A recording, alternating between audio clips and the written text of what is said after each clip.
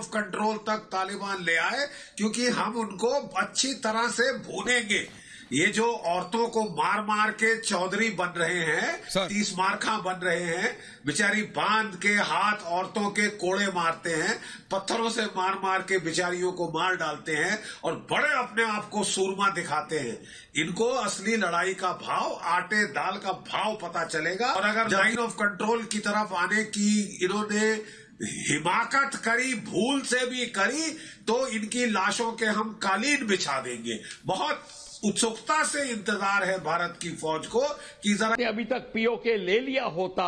Sir. तो ये सारी नौबत ही नहीं आती। आपके पाकिस्तान हमारी फौजें अगर पीओके में होती साल पहले या डेढ़ साल पहले तब फिर ये अफ़गानिस्तान में तालिबान और पाकिस्तान का बढ़ना मुश्किल हो जाता। यहाँ तक कि अगर पहले हमने पीओके ले लिया होता तो सी किया बिल्कुल। दोनों हाथ उठा उठा के मेजर जनरल जीडी बख्शी। हाथ खड़े करके बोल रहा है कि अब हम तालिबान का इस्तेमाल करेंगे। पाकिस्तान अब तालिबान का इस्तेमाल करेगा।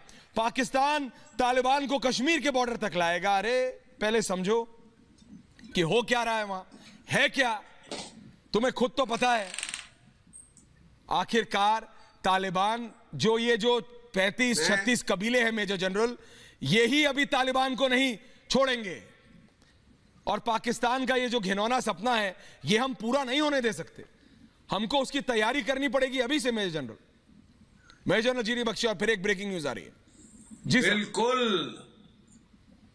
देखिए मैं कहता हूँ कि भारत की फौज को बड़ी खुशी होगी अगर ये लाइन ऑफ़ कंट्रोल तक तालिबान ले आए क्योंकि हम उनको अच्छी तरह से भूनेंगे ये जो औरतों को मार मार के चौधरी बन रहे हैं। तीस मारखा बन रहे हैं बेचारी बाँध के हाथ औरतों के कोड़े मारते हैं पत्थरों से मार मार के बेचारियों को मार डालते हैं और बड़े अपने आप को सूरमा दिखाते हैं इनको असली लड़ाई का भाव आटे दाल का भाव पता चलेगा जब किसी असली फौज से लड़ना पड़ेगा या पंचशीर घाटी में और अगर लाइन ऑफ़ कंट्रोल की तरफ़ आने की इन्होंने हिमाकत करी भूल से भी करी तो इनकी लाशों के हम कालीन बिछा देंगे। बहुत उत्सुकता से इंतज़ार है भारत की फौज को कि जरा ये तोपों की मार सहे बोफोर की और Grad multi barrel rocket launcher की इनकी धज्जियाँ और परखच्चे उड़ा देंगे हम। तो इनको पता चल जाएगा फौज क्या चीज़ होती है। आप लड़ाई से बाहर हो जाइए और पाकिस्तान ऑटोमेटिकली बाहर हो जाएगा। अमेरिकन के आते हुए पाकिस्तान नहीं लड़ेगा। और यहीं पे चीन की प्रॉब्लम स्टार्ट हो जाएगी। चीन वेट कर रहा है कि किसी तरीके से तालिबान हावी हो जाए और फिर वो अंदर घुस के अपना पैसा लगा के जो भी मर्ज़ी कर सकेगा। ये प्रॉब्लम एकदम खड़ी हो जाएगी। पर भारत ने एक चीज़ भूल गया करना। अगर भारत ने अभी तक पीओके ले लिया होता। तो ये सारी नौबत ही नहीं आती। आपके पाकिस्तान हमारी फौजें अगर पीओके में होती साल पहले या डेढ़ साल पहले तब फिर ये अफ़गानिस्तान में तालिबान और पाकिस्तान का बढ़ना मुश्किल हो जाता। यहाँ तक कि अगर पहले हमने पीओके ले लिया होता तो सीपीईसी के लाले पड़ गए होते। हमने ये बड़ी स्ट्रेटेजिक एरर की। पर कोई बात नहीं अब भी हम स्टार्ट कर सकते हैं पीओके लेना। अगर आपने पीओके लेना अभी भी स्टार्ट कर दिया तो तालिबान की मूवमेंट बिल्कुल खत्म हो जाएगी इस साइड में और चाइना बिल्कुल हक्का पक्का रह जाएगा और पाकिस्तान कुछ नहीं कर पाएगा। ये ही टाइम है, हमें उसका फ़ायदा उठाना चाहिए। कश्मीर से तालिबान बिल्कुल अलग हो जाएगा।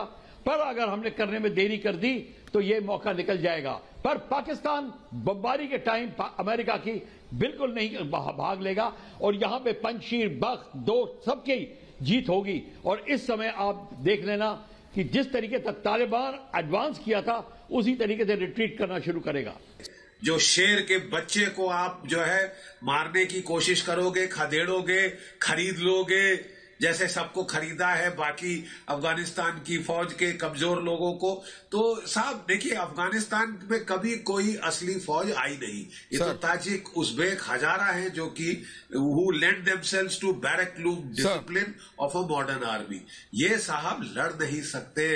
ये औरतों की पिटाई कर करके दुनिया में इनका महिमा मंडन करा रहा है। अमेरिका और चीन और अब तो मैंने देखा कि यूनाइटेड किंगडम भी शामिल हो गया है कि ये गाँव वाले हैं अपने टेबल पे बुला के मेजर जनरल, ये एक- खिलाइए मेजर